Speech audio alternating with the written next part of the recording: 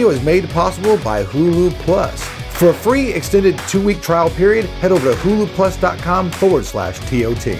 Battle fans, welcome to the arena. Now, who's fighting today? Well, I've got two cards in my hands. One from the NVIDIA camp, which is red, and one from the AMD camp, which is black. What are these cards? Well, this is the MSI Twin Frozr Gaming Edition in this hand. This is the GTX 780 Ti, the cream of the crop card pretty much from people over at NVIDIA for the gaming enthusiasts. Now, some of the cool things about it are its Twin Frozr technology featuring these two fans, and the card actually does change clock speeds, which we'll talk a little bit about later. Now, in this hand, I've got the WindForce R9 290X, the bad boy of the AMD camp. This is the WindForce overclocked edition, and this one actually has a switch for silent or turbo mode. Now, as far as the power goes, both the cards require a single 6-pin and a single 8-pin power connector. The really difference between the cards as far as size go is, well, obviously the AMD card is a little bit longer. So with that said, let's jump in to the battle. So the battle begins and it starts with pricing. Now, the NVIDIA version of the card right now is costing $760. So you can get the Twin Frozr Gaming Edition, you can get that bad boy for $760. Now, the WindForce Overclocked Edition of the R9 290X is an amazing $825. That's right, $825. Why is this? Well, all the Bitcoin technology and all that stuff's coming out has inflated the price of these cards just outrageously. This card should come into market about $600. So there's quite a bit of difference right there between the two cards. Now, obviously, this may change to people who are viewing this video down the road, so make sure you always check the link down in the description. We have all the current pricing and listing to both cards. Next up, let's talk specs. First up, we have the MSI GTX 780 Ti Twin Frozr. Now this card can be clocked in three different modes via their software. We have the silent mode, which is 876 megahertz, the gaming mode, which is 980 megahertz, and then we have the overclock mode, which goes all the way up to 1085 megahertz. This card also has 3 gigabytes of GDDR5 memory, clocked at 7000 megahertz, and it's a 384-bit memory interface. Now on the AMD side of the fence, we see the Gigabyte R9 290 90X WindForce specs as this. 1040 megahertz on the core clocked, which is overclocked. It also has 4 gigabytes of GDDR5 memory running at 5000 megahertz. But unlike the NVIDIA card, the R9 290X has a 512-bit memory interface. Now for our testing purposes, we did things a little bit different because obviously these cards are supposed to be the badasses of the badass. So, you know, why take a sports car and drive it around a parking lot, right? So what we did is we tested everything in ultra 4K glory. That's right, no 1080p, no 1440p, no 1600p. We're talking total 4K, baby. First up, we see Crysis 3, which was on its high settings of 3840 by 2160. Now, the MSI GTX 780 Ti had a score of 33.3 average frames per second.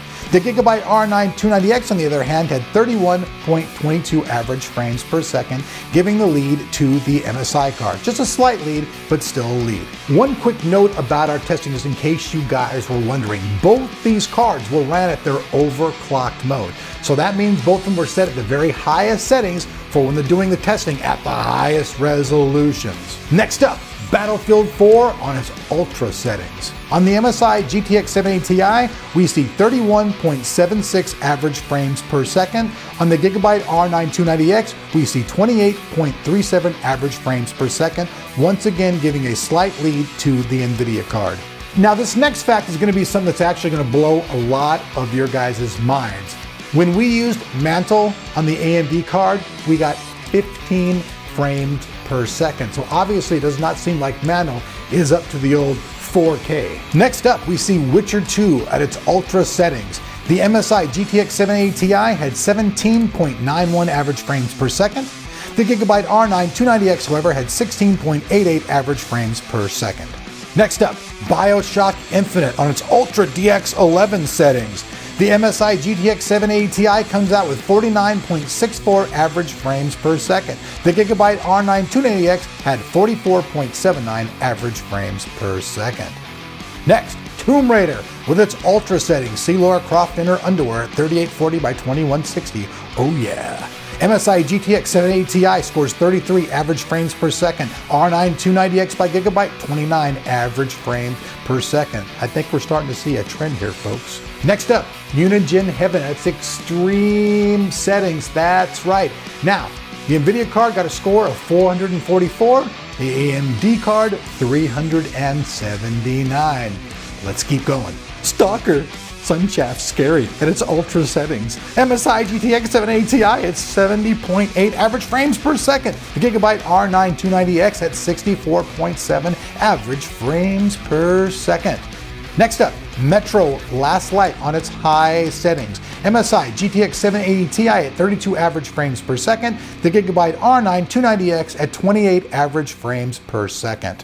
Next up, let's talk about temperatures of the cards because this is something that's a very, very important factor. I mean, let's just face it. Unless you're an Eskimo who's living up in the Arctic, you really don't need a card to keep you warm. You want your card to be really, really cool. Now, something I say right off the bat is aftermarket cooling is really paying off a lot more for the R9 290X, way more than the 780 Ti. The 780 Ti card ran a reference pretty damn good. Now with these two cards, we see the NVIDIA card running at 74 and the AMD card running at 73. So hey, here we see AMD taking the lead and you guys all know that the R9 290X was one hot mother. So in this category, it's a really totally thumbs up for the WindForce cooling. Now let's talk about something that really doesn't get discussed too often, the loudness or the decibel level of the cards. Now, the Gigabyte card does, however, have three fans and it's running in supreme overclock mode. You could run it in silent mode, but it would change the entire parameter of the situation.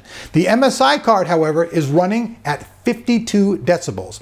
Not too bad. The AMD card's running at 62 and a half, so it's a little bit louder on the AMD side of things. But remember, the R9 290X was a very, very hard card to cool. We even thought it would need a water cooler. But the WindForce is doing a pretty damn good job on this card of keeping it both quiet and cool. So all right, folks, there you have it. I really hope that you guys enjoy this content and the way that we're bringing it forth to you. But one thing I have to mention is this video would not even be able to be brought possible to you folks without the help of Hulu Plus. So I just want to send a shout out right now to Hulu Plus and thank them for making this video possible for you. So I know many of you PC users out there know what Hulu is, but do you guys really know what Hulu Plus is? Because Hulu Plus is like a whole different level. Hulu Plus is like taking that standard video card, slapping a water cooler on it and getting the absolute most bang for your buck.